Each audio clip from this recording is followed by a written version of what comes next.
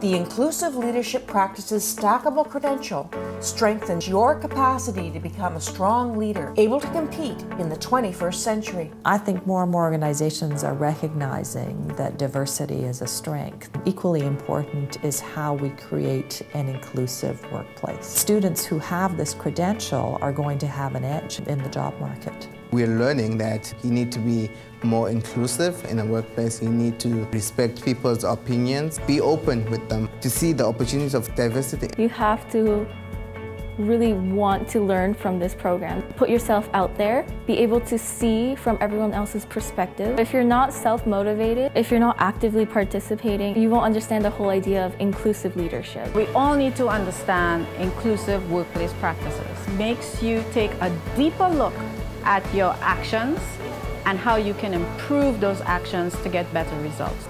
It's incredible what you will learn.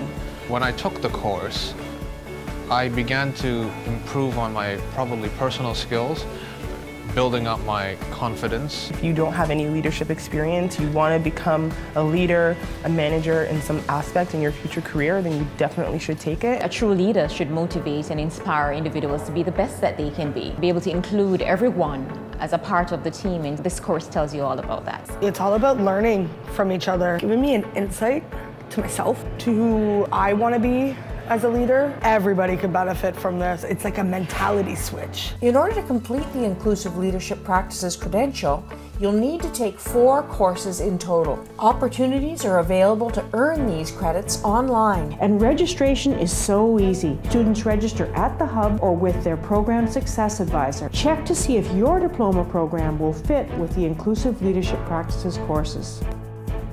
Really, it's about differentiating yourself in areas that matter most to employers. Have that capability to draw out the best in a diverse team is going to be very valuable.